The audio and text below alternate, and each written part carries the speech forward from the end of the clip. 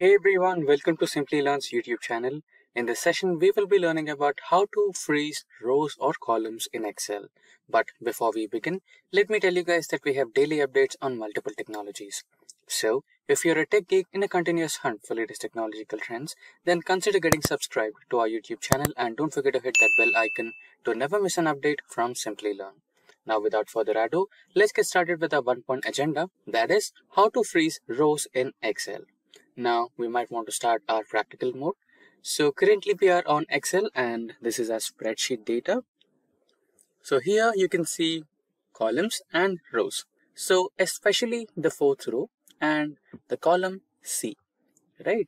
So uh, currently we have data on our uh, spreadsheet and it is exceeding the number of rows currently visible on our screen, right? So when you scroll down, you can see that the header or the headers of all the columns are getting vanished or scrolled up along with the data, right? And you might want to keep that so that you'll have reference to every single aspect of or every single cell data you're referring to, right? So for that reason, you might want to freeze this. And also you might have a doubt, what if uh, even uh, even I had this data in the column section, right? And what if I had to freeze that and you know when, when you scroll this and keep that data uh, set on the column as it is, right? So we can also do that. Let's look at both of them. So there is a simple process to do that. All you have to do is select the cell or uh, for which you want to uh, you know set the or freeze the column adjacent to it or the row adjacent to it right? So currently i want to let me expand it. So currently i want to freeze this particular row right and this particular column. So the cell i would be selecting is the first cell here that is d5 right. So when i select this particular cell i can be able to freeze this particular row and this particular column. So now you need to navigate to the toolbar and then select the view menu and inside view option you can see there is an option of freeze panes. Right. So click on the drop down. So you can see three different options.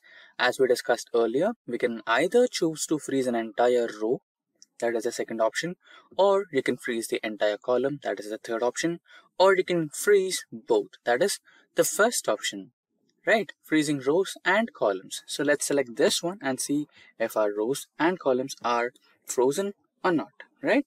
So now let's scroll down and you can see our row is successfully frozen there, right?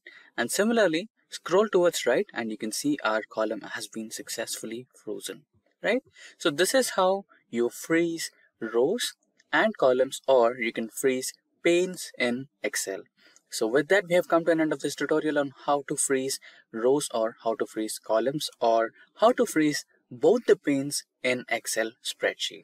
So if you have any queries regarding any of the topics covered in this session, or if you need the resources that we used in this session, then please feel free to let us know in the comment section below and our team of experts will be more than happy to resolve all your queries at the earliest. Until next time, thank you, stay safe and keep learning. Hi there, if you like this video, subscribe to the Simplilearn YouTube channel and click here to watch similar videos. To nerd up and get certified, click here.